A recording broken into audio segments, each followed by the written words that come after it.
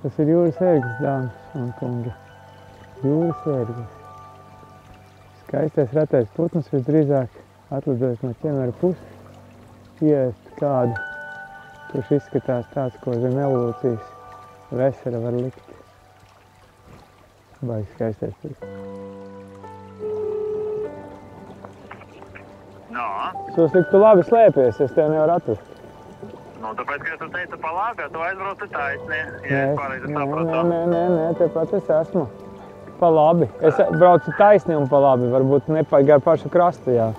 Nu, tev vajadzēja, jā, pirmā paša mazā. Nu, tagad griezies pa labi un brauc tur 200 metri un mani ieraudzīs. Labi, labi, labi. Nē. Re, ka ir. Re, ka viņš ir. Viņš tas ir, tas ir viņš. Tas ir viņš, viņš tas ir, ir viņš.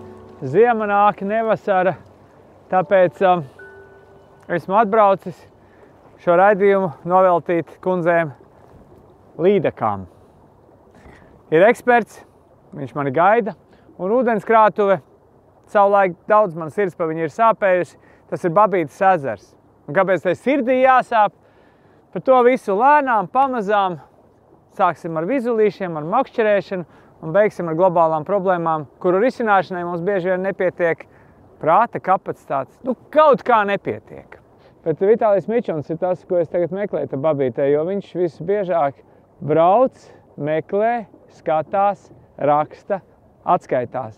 Un tās atskaites ir tas, kas eh, tiem sēdošiem bizoņiem, kāda viņi ir, teiksim, katrs savā darba vietā, mājās, kur tikai gribētu, tā kā uzdzen asini. Paskaties, viens brauc, dara, mēģina. Un Vitālijam ir ļoti milzīga kaste. Un tajā kastē ir daudz dažādu mānekļu. Un tas ir tas, ko es gribu. Es gribu cilvēku, kurš elpo līdekās, kuram patīk ķert līdekas, kurš ķer līdekas pierīgā, un kurš var kaut ko pastāstīt jaunu, tādu, ko mēs varam uzzināt. Jo priekš kam tad tā raidījumi ir? Tie raidījumi priekš tam, lai mēs uzzinātu kaut ko jaunu, nebijušu, nedzirdētu, vai arī varbūt sen aizmirstu. Nu, man šķiet, ka tas džeks ar to sarkano, nē, to zaļgano jaku, tas ir viņš. Viņš jau man māja roku. Tas ir viņš, kāpostiņš. Nu, klausies, nu mizojam? Nu, davai, es domāju, ka braucam vat tur, kur eh, pakaļ ar tām eh, gulbiem. Jā. Un pēc tam tad pa labi pa šitie, pa Pa tām šitiem zālēm pabraukāsim. Jā. Labi, jā. Patiesībā man liekas, ka uh, ūdens, te, ūdens līmenis ir pacēlies pa kādiem 40 ceņiem. Daudz. ir. Nu, pēdējās trīs dienas viņš turās plus mīnus vienāds. Ā, viņš vēl staigā. Nu, tur, tur ir tā lieta, ka daudzi, kas pat nezinu, tur gadiem brauc uz babīti, viņi nevar saprast, kā notiek ar līmeni. Viņi domā, ka cipa, bija lietas, o, taču tad ūdens pacelsies. A šeit viss ir atkarīgs tikai un vienīgi no vēja. Jā. Nu, tad pacupējam bišķi. Nu, davai. Jā, kā tu kliedz? Nu, tad nesakas. Tev arī. Tev vēlne. Man iesita tas pulbēts, kurš, kurš bija ar to dzelteno vēdu. Nu, šitais, laikam. Šitais man baigi patīk. Ja es būtu līdzi, ka viņš to ķertu. Nu, tik šis ir liela. džakals, jā. Džekals, jā? Mm. Bet viņam stulbi, viņam redz, viņam ir strāīt 95. Jā. A šit ir 70. Ne, bet šito noanimēt varētu labi, ja tevi, piemēram, tavs, tava, cik es saprotu, tu... Nu, tu... šitam vajag 15 vai pat mazāk gramu jā, jā, kātu, jā. Un arī ļoti tie valku vajag. Nu, Un tāpēc es saku, es tev man ir paņemu 15 strīniec. grami un 0,6. Jā, tad šito var kaut ko tur uh, saprast un kaut ko izdarīt. Un ja šito apēd žaunā kā trīnieci, ka šitādi sēd tā kā saulespuķa sēkliņas, Mm. tad uzreiz tu ir jautri. Līdekās. Es jau braucu ar saviem parastiem sēkliem mānekļiem. Liels spilgts kairinātājs, liels nespilgts kairinātājs, vidējs dabiskais kairinātājs, visādi pretzaļnieki, burbuļi, neburbuļi, visu veidu un visu laiku labākie mānekļi, teiksim tā. Vienmēr kāds no šitiem izšauja. Tas, kas būs šodien, to laiks rādīs. Vispār jau man interesē noķert vienu ēdamu līdaku, kuru paņemt līdzi. Pārējais jau ir džess. Un tas ir tik patīkami, ka pārējais ir džess, kad ārā ir plus 3 grādi. Ir zivs, ir pīle. Tas šitais ir tas tavs bibliogrāfiskais Jā, racums. jā. Tā, to wobleru es priekš sevis uh, atklāju, es nezinu, kādus gadus 6, 7 atpakaļ. Jā. Šitais jau ir nezinu, kurš, uh, bet vat šitais kalpo jau trešu sezonu. Nu, vat viņam redzams, jā, ka viņš ir nograusts. Jā. Un ot, otra krāsā arī vat šitā, jā. Pēc kuras redzams, jā, ka uz viņas ķērās. Tātad šitais ir faktiski priekš taviem rokdarbu tipiem, šis ir optimālais pasākums. Jā, uz rudeni, otrēlē es ar viņu ļoti labi sadraudzējos. Tur jau visi āķi mainīties, ar viņam arī spēlējos, teiksim, re, kur šitam āķi speciāli uzlikti lielāki, lai Lai viņš iet čučuļ dziļāk. Jā. Jā. Šito es iedevu cilvēkam pārkrāsot. Viņš man uztaisīja tādu ļo- ļoti košu, bet šodien es viņu metēju. Nē. Nekas burkāns. Bet ik, ik pa laiku tas var izšaut arī. Klausies, pagaid, no kā, kā viņš sauc? Džakals? Džakals Sraid. Right. Sraid. Srīdē. Es srīdē. Nu jā, tāds tev izskatās mīļākais pasākums. Tā izskatās. Jā. Un ko tu ar, un Ima atkal savukārt es skatos, Ima ka man parādījās tikai kādu mēnesi atpakaļ, ot tieši ar uh, nolūku tagad rudenī ar viņu pacopēt, bet uh, mums rudens pagaidām ir tik grūts, ka visu laiku copēju ar tādiem. Bet, nu, tad viņus, viņi droši vien saucās pulbeiti, vai ne? Principā tas ir svimbēts. Svimbeits. Jā. Svimbeits, un tur viņi var tad izspēlēt ar tiem kārtiem. Nu, viņi visi, visi tie svimbēti, viņi principā domāti sibāsam un viņi domāti vienmērīgai tīšanai. Jo Mhm. vienkārši uz pārastas ravnomērkas viņš nu, ļoti smuki strādā, vienīgais, ka nu, jābūt ātrumam, jo Jā. sibāsu viņi ķer ātrumā. Jā, jā. Uh, Twitchējot, es varu panākt arī samaram lielu ātrumu, lai viņš iet pietiekami seklu, kas ir labs. Viņi, viņi visi ir lēni grimstoši. Bet, uh, teiksim, Ima vispār ļoti izteikti, viņa šitādi stāv ūdenī. Mm. -hmm. Līdz ar to, jo ātrāk tu viņu vadi, jo ātrāk viņu uzsver uz augšu. jā. Viņu var vadīt gandrīz kā volkeru pa pašu virsmu. Tā kā, kad ūdens vispār nav vai ot šitā, droši var likt. Un uz šitas man bija līdeka, jau uz šitas bija, bet pagaidām ļoti maz. Tā, ka, Vēl neesmu Vai- iegūmis Vēl neesmu, jā, jā, teiksim, uh, esmu dabūjis zivis, bet neesmu izpratis līdz galam, ko ar viņu darīt.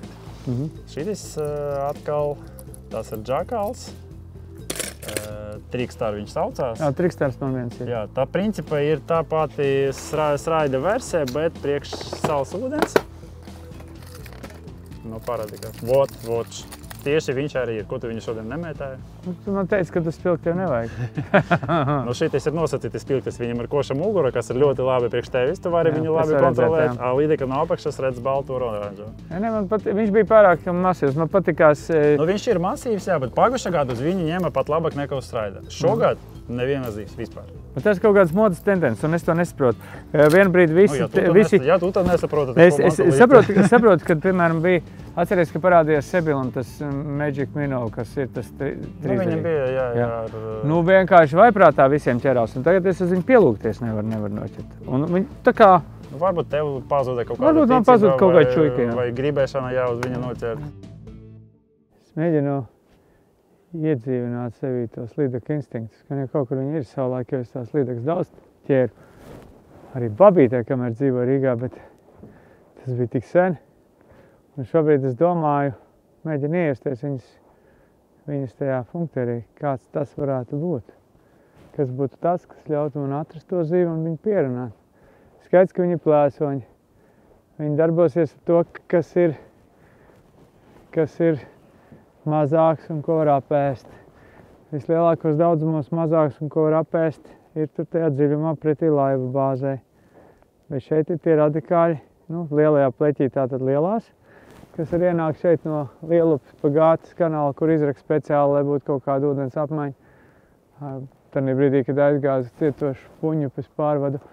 Un um, es mēģinu saprast, ko es kā tāds piļķu knāpis darītu. Kā es rīkotos, kur, kur es dežūrētu savu veiksmi, gaidot. Metu skatos, jo katrs tas metiens ir kaut kāds pētījuma daļa. Pētījuma sekmīgi un, un noteiksim, jā, tad, kad būs jāmēģina saprast, vai te kaut kas gadījās vai nē.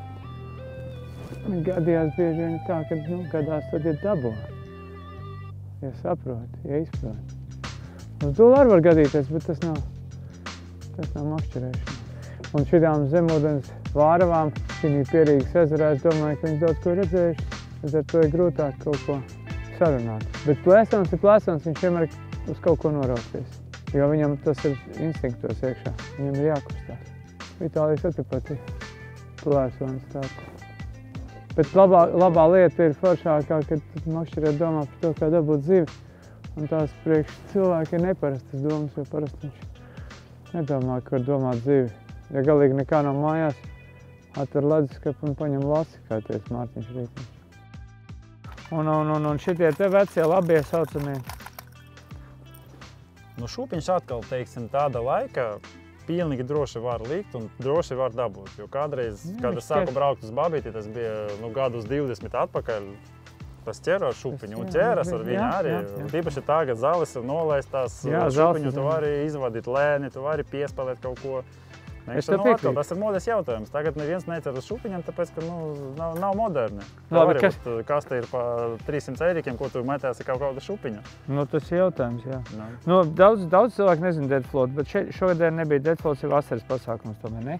Kad tu uzsit viņai pa nerviem. un as- Deadfloat ķer visu. Jā. Un asarus, jā, asarus ir tīpaši. Es Jā, jā, viņam kāpēc. tā patīk. Es ar viņu, vot, kur es viņu esmu ķēris, visur es biju dabūjis asarus. Pat tur, kur es nekādu asaru nebiju noķēris, ar Deadfloat dabū. pēkšņi biju dabūjis. Nu, šitais megabasina ir tāds jocīgs. ir ļoti, ļoti krūta vasaras tēma. Jā. Jā.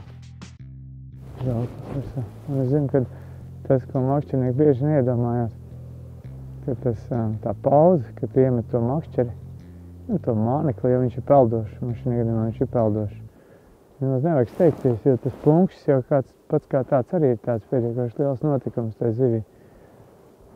Un starp plunkšķu un to, ka tu sāc vilkt, varbūt mierīgi kādu pauzīt. Neko tas netraucēs, drīzāk iegūsi. Jo visi pārējie mānekļi, kā iekrīt, tā uzreiz sāk strādāt. Vai tevējs iekritīs un paliks tā, pur, tas tikai padarīs to spēli interesantāku un savādāk. Es tev piebraukšu tuvumā, pasēdēšu uz āriem, pastīšos, kā viņš makšķerē, ja? Gan arī sabiedrēja mani. Gan drīz. Līdekļu šauj, dzirdi? Tādu stāstu es kādreiz dzirdēju. Kaut kādas baby busters tev ir, ja? Eh, Nē, tas ir mazais uh, savžgirs. Aha. Viņš ir mazāks par bebiku, 18 gramu, un viņš ir tāds nu, nu, baigi paklausīgs. Bet vienīgais viņš ir skaļš. Tagad visu laiku mainu vai nu klusos divdaļīgos, Jā. vai nu bišķiņ tādu skaļāko to mini džerku. Un pa džerku bija viens sitiens tāds, nu, patīkams, teiksim tā. Tagad, jā? Nu, tur jā, tā ir līdzīti. Jā. Bet, nu, pagaidām tas ir vienīgais, kas ir bijis. Tāpēc arī domāju, ka viņš to krastam aiziet. jo Šeit ir tāds tipa kā pamatkanāls. Jā. Pa viņu jau ūdens cēlās vai labi uh, iet prom, tad nu, ir kaut kāda trauma, ir uh, kaut kāda zivju kustība, bet ir arī duļķis. Ko nes. Līdz ar to tuva krastam it kā jābūt tam ūdenim bišķiņ dzītrākam, klusākam. Bet, nu, nekas labs šodien tāpat nebūs, bet nu, vismaz cerams, ka būs kaut kādi piesitieni. Šito te šaņina brīnumu kopdarbu. Esi kādreiz atkodis, es, es viņu tā arī nevaru Es ar viņu gandrīz neceru, tāpēc ka viņš ir padzīts. Viņš ir padziļš. Viņš, Viņš jau skaitās uh, seklumiem. Nu, viņš skaitās seklumiem, bet nu, tu pats redzi viņa lapstiņu. Nu, kas tur seklumiņš? Jā, nu, reāli metrs pusotrs. Nu, tā vajadzētu būt, jā, jo tā it, it, ka viņš saucas Shallow First, jā, bet Jā. kur tur Shallow, ot es nezinu. Pie, pie, pie krasta viņa visdrīzāk. No tagad, ot kanālā, jā, tu varēji gar krastu ar viņu patvičot. Es domāju, ka būtu dabūjis gan līdekas, gan varbūt arī kādu asarīti. Es esmu daudz viņa redzējis, bet man pašam arī viņš, viņš nedaudz atgādina to Evergreen, to M1 vai kā viņš saucās. Tas šaurais ķermenis, bet nu, tā amurgalva, tas jau tāds Nu, klasisks. starp citu, uz viņa var ļoti labi taimiņus cert. Uz šajā? Jā. Paldies, ka pateici, es pamēģināšu.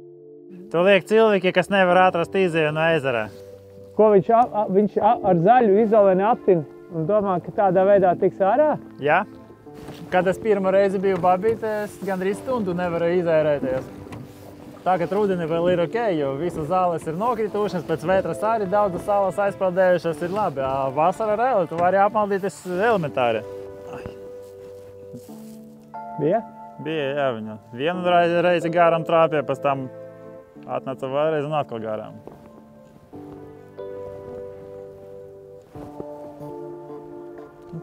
Tādas viņas ir tagad.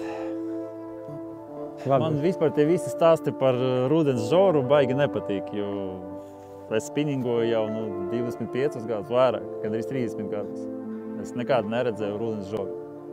Tā kā, jā, būs kaut kāda diena, divas pirms paša paša salā, kad līdeka vai nu nāks uh, prom no ezera, kad parādīsies pirmais ledutiņš, viņa var pavērt muti. A, var nepavērt. Mhm. Tā kā, nu, ja tu brauc reāli, tev ir tāda iespēja, ka tu brauc katru dienu, agri vai vēl trāpīs uz to, kā reāli viņa ķerās. Hardcore vai īstais hardcore. Jā, jā, jā. Rūpīgi sakot, no šīta mānekļa sākas mana aizraušana ar tirzniecību. Nu, pa- tieši hardcore es meklēju, un tieši šis hardcore ir tas, kas bija pirmajā partijā. Jā, tā Jūs, bija. jūs zuri viņus jau trīs reizes noņēma no ražošanas.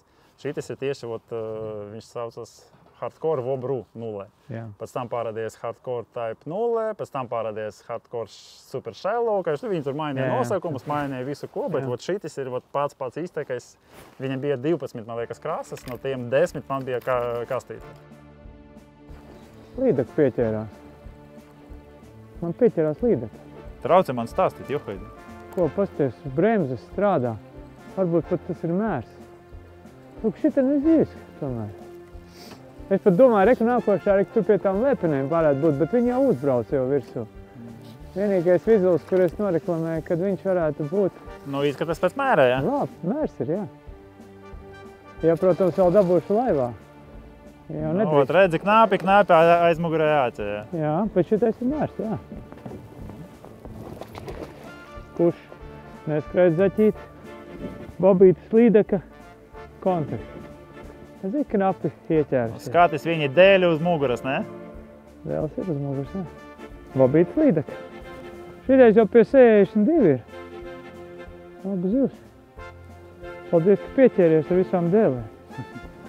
Jo Vitālija ir zivu noķēra. Tā gadās. Esmu labs gids. Nu, loģiski. Varam braukt mājās. Tas, kas vecais labais rivers, tas ir redzējis. Tas ir tas pats kā rotiņš. tas ir tas pats kā rotiņš. Nu, tā, tāpat kā hardcore ir daži manekļi, kas strādā vienmēr un visur. Nu, tu domā, to steklo hardcore, jā, tāds man arī ir. Ar Bet, viņiem eh, nav interesanti ķert, bet viņi ir zivīgi.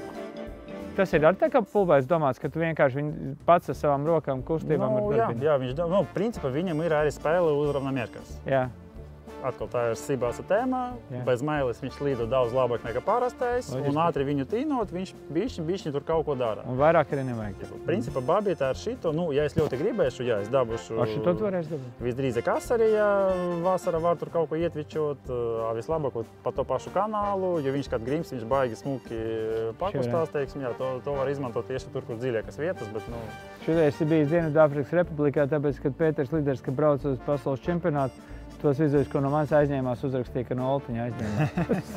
Obartiņš virsū. Mana, mana pieredze rāda, ka tieši rudenī man labāk strādā tas uh, naturālas krāsas, jo ūdens ir dzīvers, līdeka ir tāda pasīva, tā ka viņu vajag ieinteresēt ar kaut ko. Agresīvas krāsas, it kā jā, viņam vajadzētu tieši celt to guļošo līdeku, bet nu, man nestrādā. Mhm. Un par cik man rudenī ļoti patīk arī ar džerkiem pastrādāt, man nekas nav bijis uz košiem džerkiem. Vispār nekas. Tikai tumšas krāsas, un, teiksim, priekšā pa, paņemu līdzi arī džerku kasti, kamēr jūs gaidījat, tur šī pamatā. Es tev parādīšu, mana mīļākā rudens krāsa džerkam ir šitā. Mhm. Ko viņi imitē? Nav ne jausmas, bet reāli uz šīs krāsas bija ļoti daudz, nu tādas 5 plus līdzekas, teiksim tā. Tāpēc, ja tu skaties uz manu kastu, tad pu- puse kastes ir ar tādu asins vederu, jā. Te runā vispār par babītas manekļiem, manekļiem kā tādiem. Šī ezerā savulaik Latvijas čempionu nevienreiz vien vinēja tāds Strasdiņš. uzvārdā viņa bija. Un Viņam bija, viņa labākais maneklis babītē bija melns mūdzis ar sudraba astīti, kas lielā mērā sanāk ar tevi lī, līdzīgi. E, Tātad kaut kas pilnīgi neredzams ar vienu akcentiņu. Un tāda līdaka tad arī uz to labāk parakstās nekā, nekā savādāk. Nu, es tev pilnīgi nepiekrīstu par to, ka viņš ir neredzams. Jā, Jo tīpaši jau tagad līdeka stāv no apakšas uz augšu. Jā. no apakšas uz augšu, jā, un ja viņa redz, ot nosacīti, mēs ņēmām melnu mānekli uz bal un baltu mānekli. Jā. Nu, un paskatāmies tad uz, uz debes fona, ko viņa labāk redzēs. Baltā, jā. Ne, baltu viņa neredzēs. Tā kā reāli nu, melna krāsa ir pati kontrastākā. Vienkārši pārvarēt sevi un ielikt melnu mānekli. Vot, tas ir problemātiski gan man, kaut arī es to ļoti labi saprotu, bet ļoti reti es to izmantoju. Šitais izskatās tā kā hamakuru, bet viņam ir tāda acis, tā kā, it kā viņa būtu tā, dota. tas ir do, jā, jā. Tas tieši, man liekas, pagājušā gada do uztaisīja. Arī Nu, tā, tā, nav, tā nav kopija, jā, tas ir pavisam kaut kas cits. Un viņam atšķirība no hamakuras, viņš ir čučis slaidāks. Jā. Tev un hamakura ir, mēs, var mēs varam salīdzināt. Jā. Pastīties. Un viņam redzi, viņam daļas ir savienotas ar griezuļiem. Tā kā viņš vēl ir kustīgs. Ā, viņš vēl tā kustās. Jā, jā. Hamakura Nezinu, ko tas dod. Nu, vat mēs varam nolikt. Nu, ā, un redzi, Hamakura ir divi āķi. Do oriģināli bija trīs. Jā. Ko es izdarīju? Es nomainīju aizmugurējo, jo tur bija pavisam smieklīgais kaut kāds mazs āķis. Jā, Līdz ar to es nomainīju arī priekšējo, jā. noņemu nafik vidējo, jo viņš nav vajadzīgs. Nu, tik mazs mākslinieks, Jā, jā, nu, tur jebkur-. Un es pieliku mazu Wolframa bumbiņu, lai gan uh, Balansē. būtu bilance, gan arī sanāk, ka viņš iet nevis pa pašu virsmu. Viņš iet vot, aptuveni šitā. Mm Mhm. -hmm. ka, nu, tas ir ideālais dziļums priekš babītes, bet uh, tagad, vot, tam laikam, kur mēs bijām, viņš ir čučīt pāragresīvi. Protams, ja mēs gribētu kaut ko lielu, mēs ņemtu lielu uh, džerku kasti tur vai lielas gumijas un šautu vot tur jau uz liela plača. Ja mēs tagad tur izbrauktu, tur droši vien 10, 12 laivas ka- karājās, bet uh, Tas nav Tā, interesanti. nu, tas nav interesanti. Man tieši patīk šī copa par šīm sāliņām visādām. Jā, viņi ir ļoti grūti fiziski. Jo tu nevari vienkārši tur ielikt parašūti vai ankuru, tev visu laiku ir jāpārvietojas. teiksim. Nu, tu jau droši vien pamanīji, ka es ļoti tā cītīgi braucu Jā. gar visam maliņam. Jā, cenšos tieši katra, katra maza tur peļķīte iemest, jo tieši tur var tā zīve stāvēt, un tur cilvēki parasti slinkojas un nemet. Mhm. Parasti viņi izbrauc, jā, ot ir plācis, viņi izmet parašūtu, tur Izslēdz cauri un aizbrauc cauri un viss. Jā, zivis šodien nav. Ar zivis var būt stāvot tieši pie pašas, pašas uh, zaļu maliņas, un tieši ot, nu, to es varu izprovocēt. Beidzamais topiks ir šitie te balzas, balzas rapalnieki, kas ir, kas ir tā BX saucamie. Man arī viņi ir daudz, jā, bet es viņus nevaru nekur izmantot, jo viņi ir atkal padzīvi visi. Es atkal redzu, ka viņam ļoti skaisti ir tā mikrokustība amplitūda šitiem te. Nē, nē, viņi ļoti smuki strādā. Viņi smuki Tikai ļoti uztaisīti, jā. kas man patīk. Jā, es pat vienu ot šitādu, kas tev ir rokā, es viņam atlocīju lāpstiņu. Jā, lai dabūtu viņu vēl Jā, vairāk. viņš, viņš, viņš iet sēklu, jā, viss kā vajag, bet atkal viņš ir ļoti aktīvs, ļoti agresīvs. Nu, kā jau šoreiz, šodien vairākas reizes pieminēju, man nepatīk pārāk liela agresivitāte tieši rudenī. Mm. Man patīk pēc iespējas lēnākā, pēc iespējas tāda mierīgāka izvadīšana. Un, nu, pēc manas uh, galvenās līdzīgā arī tas patīk. Op. Jā. Nu, ot, es arī tiku pie zīves, pie zīves kadrā. Skaties, viņa paņēmusi aiz priekšā āķi. Tā kā reāli viņa sita, viņa sita pa vidu, viņa gribēja apēst. Nevis aiz aizmugurē, viņa reāli sita vot tā, kā, tā kā vajag.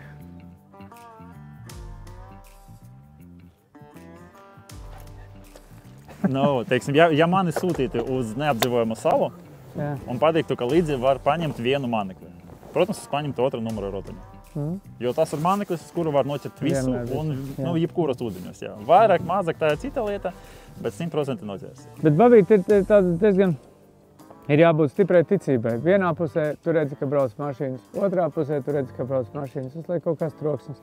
Pilns ar cilvēkiem. Ir sajūta, ka tai zivi ir vispār nav iespējams palikt kaut kur. Uh, no vienas puses, jā, no otras puses, uh, tas ir ezers, kas ir atvērts no visam malam. Tur ir Gates kanāls, tur ir uh, Varkaļu kanāls. Visu laiku ūdens kustība, visu laiku kaut kas notiek. Un principā nu, pats ezers ir kā, nezinu, kā ēdnīca priekš visam zivīm. Jo vasarā ļoti silts, ļoti aizaudzīs, ļoti daudz skābekļa, ļoti daudz visādi tur uh, Barības objekti. Barības objektu, jā, tā ka šeit ir pilns ar lieliem brēkšiem, šeit ir pilns ar lieliem līņiem. Tāds īsumā tas babīts ezers. Man tā bija eksotika. Es nezinu, kā cilvēki, kā ezers var elpot, ka viņu tik daudz ecē. Bet es uh, saprotu no šodienas, tā kā tu man apgaismoji, es saprotu ļoti, ka viņš uh, tās zivs tur beig dinamiski, viņi visādi kustās. Tas nozīmē, ka viņa tomēr ienāk, tomēr iziet. Nu, arī to var redzēt ziemā. tā Ir Jāteikt, arī, ka ir arī sāk- brīdis, kad viņi ienāk no jūras un reāli ķeras jūras līdzi, kas slaida, gaiša un visas tādas kā no inkubatora, ap pusotru kilogramu. Jā. Tas parasti notiek kaut kur ap septembrī, man liekas. Un ir brīdis, kad no ienāk uh, jūras. Un Ir tad- brīži, kad ienāk jūras asari arī. Tur bāriem viņi staigā un šogad man cilvēki bija, kas noķeruši nu, spāņos vienkārši. Rīkīgs asaris, 500, 600, 700 gramīgi. Labi. Bet viņš ieskrien un izskrien. Nu, to, to mēs tāpēc jums stāstām novembra beigās, lai nebūtu jāuztraucās. Jā. Kā nākošajam šo- septembrim. Šo, šo sezonu jau līdzi atplatīsies no, Mūsu- no visiem droši vien. No mūsu- manis nē, es vēl braukšu. Tu vēl brauks, bet mūsu cilvēkiem ir tik īsa atmiņa, ka nākošais gads septembrī es varu sadarīt, viņi būs aizmirsuši. Jo nāk jau cits. labi, jo mazāk uh, cilvēki, jo mazāka labāk. konkurence. Sevišķi Pirīgas ezerā, ka tev nebūs nekad tā, ka būs pa maz cilvēku. Uz redzēšanos. Vislabāk. Slēdz ārā. Reklāmas pauze.